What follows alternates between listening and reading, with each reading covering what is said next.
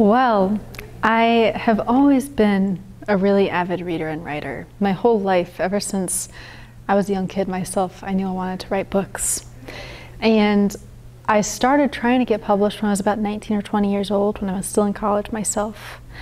And I actually wrote three whole novel length manuscripts before I wrote I Can Make This Promise and before Edie's voice came, popped into my head.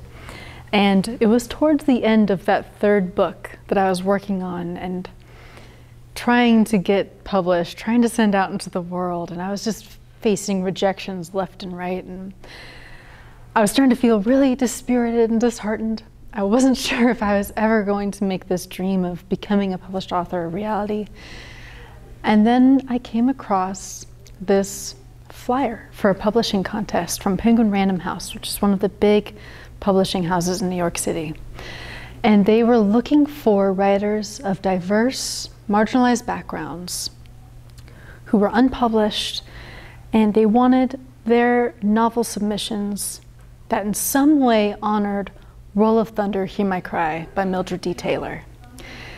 And coming across this flyer, it reminded me of a lot of the books that I really loved myself when I was a kid and it got me wondering if I were to write a middle grade book that it seemed like addressed some of the things I thought they were looking for, like family themes and cultural identity.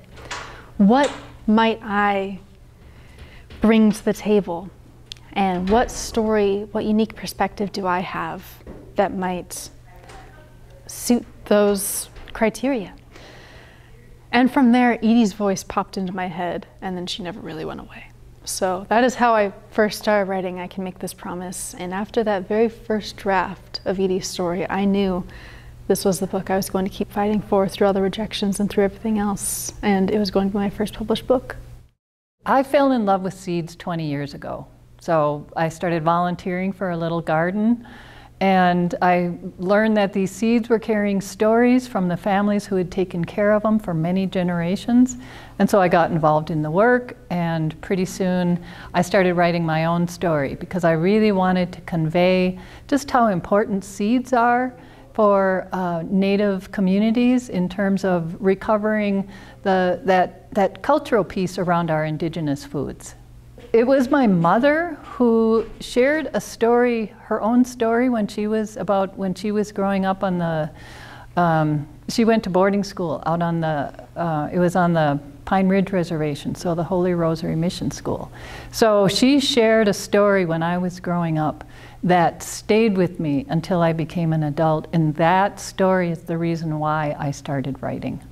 What I have been really happy to see is the hunger People want to know these kinds of stories. They want that relationship with seeds, with water, with the earth. And so that to me is really heartening, really inspiring to see that.